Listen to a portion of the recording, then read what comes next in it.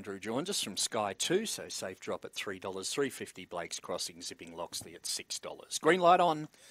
Money in motion. This is race number eight, Mount Gambier. They're set, they're racing. Fairly even line. Diamond Carrot and also Zipping Loxley showing best pace, and Zipping Loxley will lead them out of the straight. Blake's Crossing goes up to second or with Faller back in the field. Diamond Carrot came down. Zipping Loxley leads down the back by four. Blake's Crossing is second, then came Safe Drop, followed by Rough in Vegas. Next one is Cash Storm, followed by Shim's Heart and uh, Dashing Jinx. Now, last of all, off the back, it's Zipping Loxley. About four in front of Blake's Crossing, head of the rest, Safe Drop, but up the straight, it's all Zipping Loxley. Zipping Zipping Loxley scores by five. Blake's Crossing got second. Uh, third went to Safe Drop in front there of Shim's Heart, followed by further back then came Rough in Vegas. Then came Cash Storm Dashing Jinx. And after a tumble on the first turn, Diamond Carrot tailed the field in.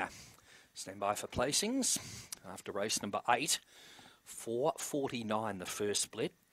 17.09 second split. Run home time will be up in a moment as the number goes into the frame. Number two, Zipping Loxley over one, Blake's Crossing, and third in about to be semaphored there. After the running of race eight, it goes to number six, Safe Drop. 2.167 got fourth, Shim's Heart. 29.96 the overall time. Run home time of 12.87 after the early splits of 4.49 and uh, 17.09. 29.96 overall and six and a quarter lengths. Decisive win with one length between second and third, six and